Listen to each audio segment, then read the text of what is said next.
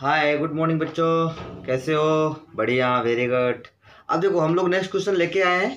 Find the angle between two vector A and vector B with magnitude one and two respectively and then when vector A dot vector B equal to one given है। आपको क्या निकालना है? इन दोनों vector के बीच का angle निकालना है बेटा। क्या निकालना है? दोनों के बीच का angle as you know that हमने अभी प्रीवियस लेक्चर में बताया था वीडियो में हमने डिस्कस भी किया था कि dot product vector A dot vector B is equal to क्या होता है? Magnitude of A into magnitude of B into cos theta right ये हमारा ए डॉट बी का फॉर्मूला है vector A dot vector B का।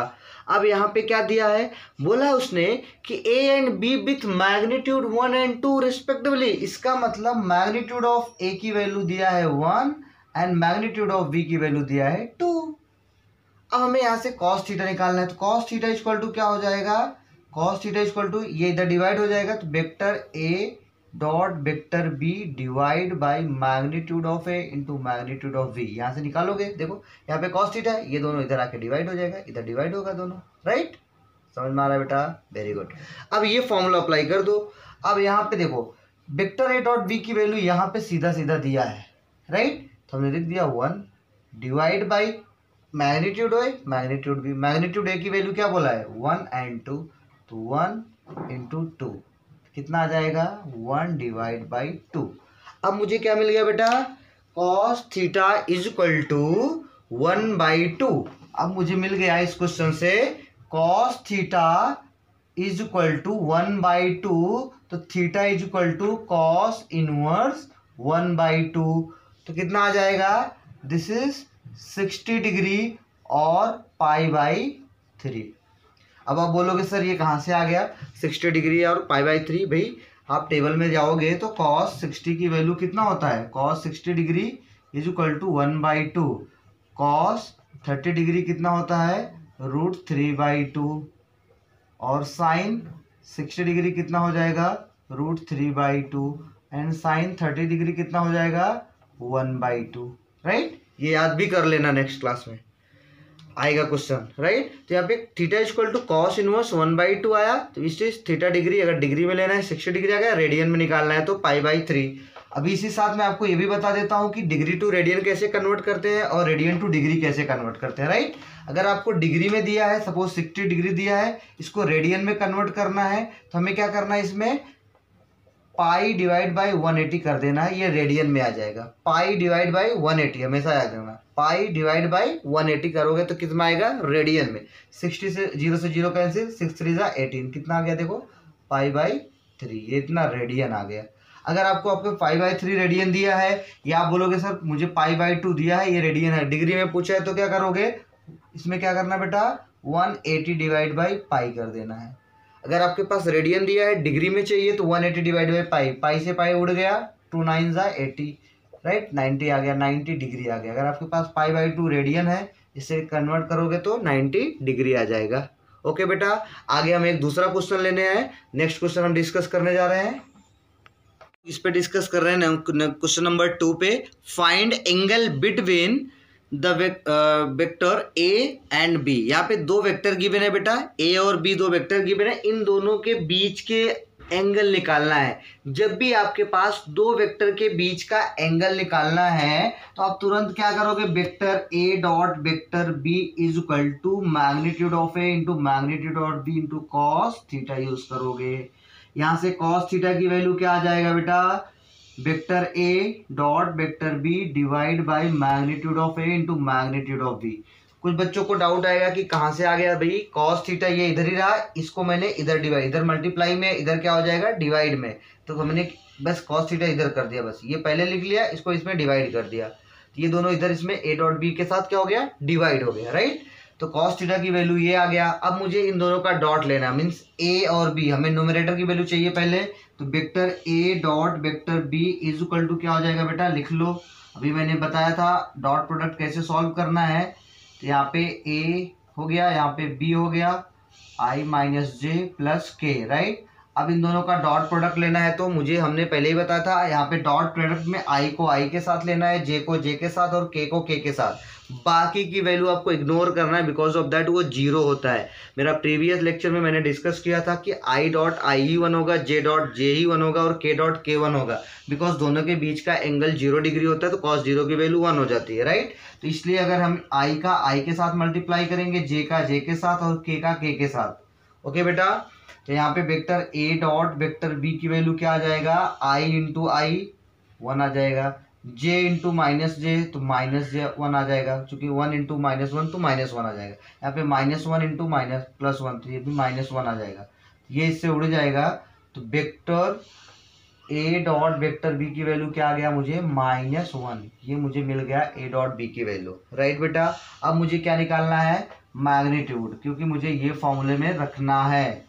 ये फॉर्मूला में रखना है मुझे। ए डॉट बी की वैल्यू आ गया, मुझे मैग्नीट्यूड निकालना है। यहाँ से अगर मैग्नीट्यूड ऑफ़ ए निकालते हैं तो कैसे निकलते हैं? Square root of coefficient of I का स्क्वायर कोफिशियंट ऑफ़ जे का स्क्वायर प्लस कोफिशियंट ऑफ़ के का स्क्वायर तो कोफिशियंट ऑफ़ आई का क्या हो गया? वन वन का स्क्वायर हो जाएगा प्लस कोफिशियंट जे कितना है? वन वन का स्क्वायर प्लस कोफिशियंट के कितना है? माइनस वन का स्क्वायर तो मैग्नीट्यूड ऑफ़ ए कितना आ जाएगा बेटा? One plus one plus one कितना आ जाएगा? Root of three.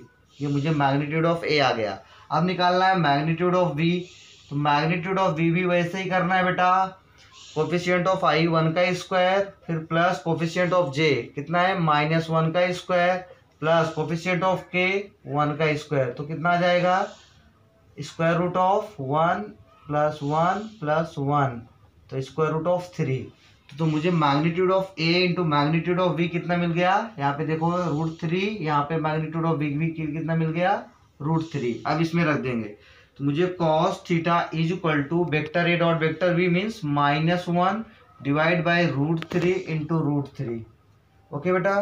तो cos theta is equal to कितना हो जाएगा? माइनस वन बाई थ्री क्योंकि रूट थ्री रूट थ्री कितना हो जाएगा? थ्री तो यहाँ पे cos theta is equal to minus one by three आ गया।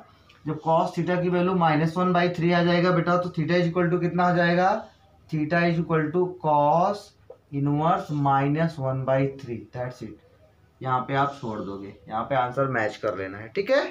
दैट्स ऑल अबाउट इट ये क्वेश्चन डिस्कस करने वाले बेटा, बहुत ध्यान से समझना है। ये क्वेश्चन बहुत इंपॉर्टेंट क्वेश्चन है। बार बार एग्ज़ाम में आता है। यहाँ पे क्या हुआ है? Find magnitude of vector A minus magnitude of vector B if two vector A and B are such that magnitude of A equal to two दिया, magnitude B equal to three दिया, and A dot B equal to four given है। तो आपको क्या निकालना, magnitude of A minus magnitude of V तो ध्यान दो बेटा, magnitude of A minus magnitude of V निकालना है। इसके लिए क्या करना है, सबसे पहले हमें क्या करना है बेटा, magnitude of A minus magnitude of V निकालना है। इसके लिए सबसे पहले क्या लिख दोगे आप, इसका होल स्क्वायर। तो क्या हो जाएगा magnitude of A minus magnitude B का होल स्क्वायर करना है, क्या हो जाएगा?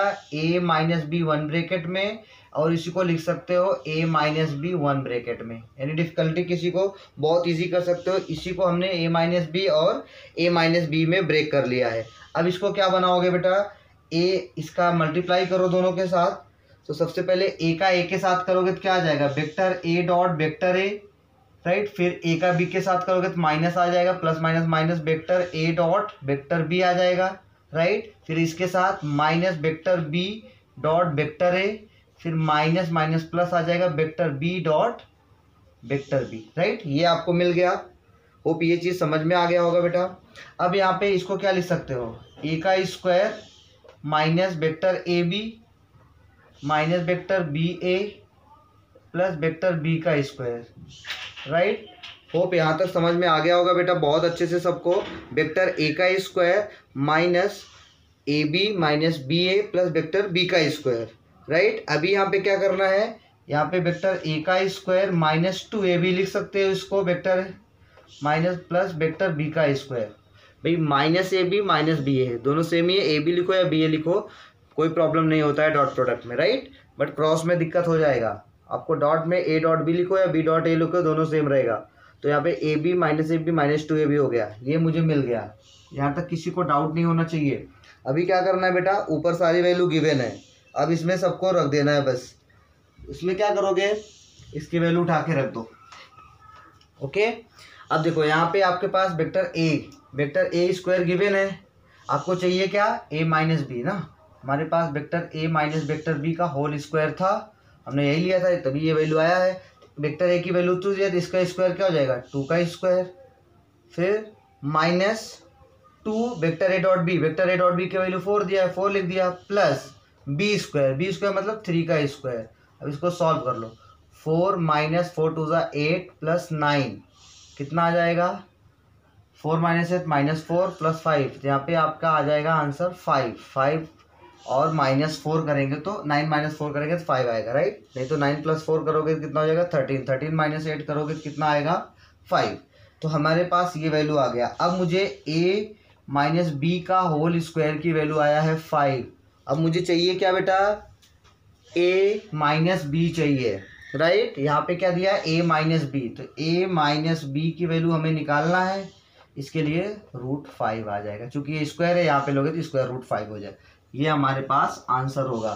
होप समझ में आया होगा, vector A minus vector B है ये, उसका होल स्क्वायर फाइव है तो ये इसका अगर स्क्वायर इधर लोगे तो इसका क्या हो जाएगा? स्क्वायर रूट आ जाएगा, स्क्वायर रूट फाइव का वैल्यू यहाँ पे आ जाएगा। ठीक है? यहाँ पे लिखना है डेट्स इट।